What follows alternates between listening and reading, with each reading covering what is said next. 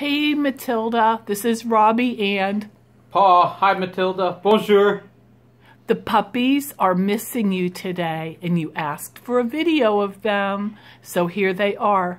They're being very, very sweet, and they miss you so much. Say it again, Mitsu.